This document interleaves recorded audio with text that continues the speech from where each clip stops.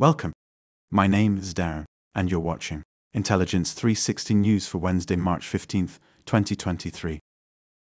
According to state and local economic development sources, Gensler, the San Francisco, California based architecture, design, and planning firm, plans to invest $3.43 million to build out 21,834 square feet of office space. The project will consist of interior tenant build out and renovation on the 14th floor at 999 Peachtree Street Northeast in Atlanta. The company plans to occupy the new space later this summer.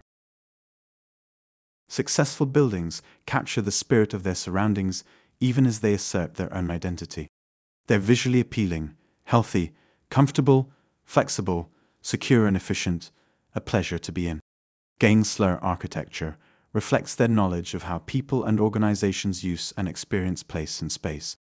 They work collaboratively with clients, communities, and end users to create buildings that work well on every level, inside and out.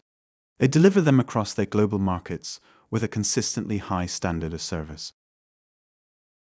Gensler is a global architecture, design, and planning firm with 53 locations and more than 7,000 professionals networked across the Americas, Europe, Greater China, Asia Pacific, and the Middle East.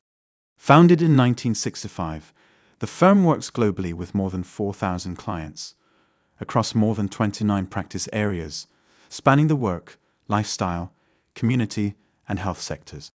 Everything they do is guided by their mission to create a better world through the power of design. Thanks for watching Intelligence 360 News.